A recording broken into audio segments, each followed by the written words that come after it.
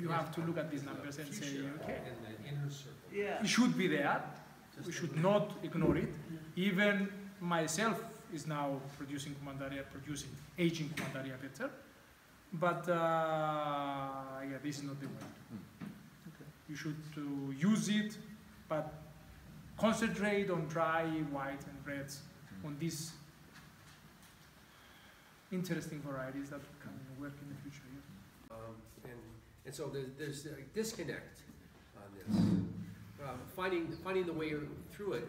I hope that the commandaria question doesn't become the dividing force, because that would be a mistake. No, But it- it no, it's not, it's not the case. I think, I think that uh, most of the winemakers now, they do it, they all do it in small quantities, they know it's of, uh, it should be there, but uh, they are not going to change their wineries to produce just commandaria. Yeah, that's, they Yeah. shouldn't, they shouldn't. Because it's, uh, they know they cannot do that.